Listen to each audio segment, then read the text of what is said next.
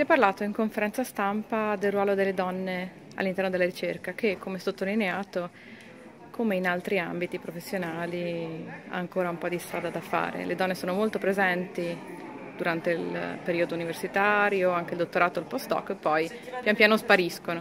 E bisogna eh, avere un occhio allenato per leggere i numeri, in effetti, no? perché molte volte si leggono le statistiche, si vedono eh, tante donne, ma poi dopo è bene anche andare a vedere in che posizioni sono, in quali ruoli. Eh, beh, credo che sia stato molto importante a Trento aver avuto una rettrice donna, è stato un bellissimo segnale.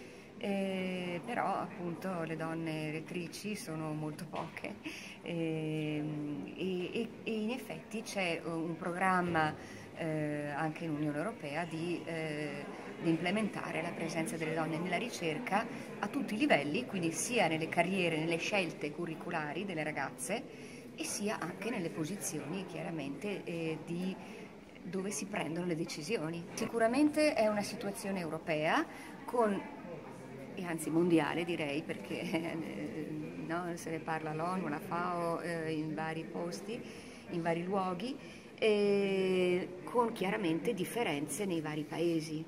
In L'Italia, questo l'Italia è molto molto in coda.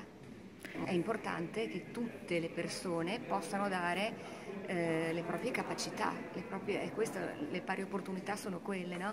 tutte le persone che possano dare il proprio contributo mettere a disposizione la propria intelligenza, la propria eh, capacità, eh, la propria creatività per il bene di tutti quanti.